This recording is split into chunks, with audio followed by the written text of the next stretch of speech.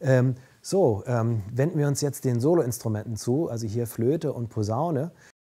A flauta no Brasil, ela também foi muito, foi um instrumento muito popular no, no início do, dessa consolidação do gênero, no, no começo. Uhum. E nos primeiros registros escritos, ela, ela tem muita importância, assim, é, tem muitos, tinha muitos flautistas tocando e as primeiras formações desse do, do gênero eram com a flauta solista. Então era flauta, cavaquinho, violão. Então era um instrumento muito popular e dentro dos gênios da flauta existe, existiu o, o Antônio Joaquim Antônio da Silva Calado, que ele nasceu em 1848 e foi um dos principais do, do gênero. E ele, o primeiro registro de choro é uma música chamada Flor Amorosa, que é a música do Antônio Calado. E depois disso vem outros grandes flautistas que ajudou nessa consolidação do gênero. Tem o Patap Silva, que ele também tocava música clássica, então ele tinha essa, o, assim como o, o Calado, ele também foi professor de conservatório. Então eles tinham essa essa dualidade, assim, tocavam música popular e a música clássica.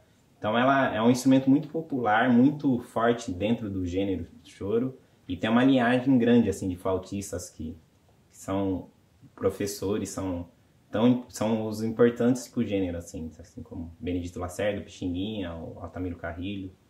E ela principal, ela faz a função da melodia, principalmente em melodia.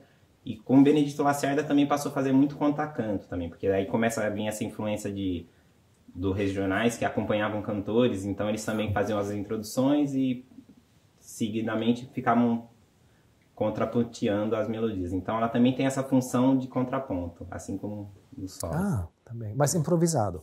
Improvisado, sim. Ah, improvisado. Ja, bem interessante. Obrigado. So, also tatsächlich die Flöte eben als sehr populäres Instrument. Ähm, die Flötisten in der Zeit haben tatsächlich das gemacht, was auch äh, bei uns eigentlich alle klassischen Musiker gemacht haben, nämlich sowohl die Kunstmusik als auch die äh, populäre Musik gespielt beides eben nebeneinander her und dann noch eben unterrichtet. Das heißt also, diese ganzheitliche Musikeransatz und der Kontrapunkt, also jetzt eben Flöte, einmal natürlich als Melodieinstrument, aber den eben auch als Kontrapunktgeber für Gesänge. Und diese Kontrapunkte waren eben, wie es im Jazz auch üblich ist, improvisiert. Dazu werden wir wahrscheinlich gleich mehr hören.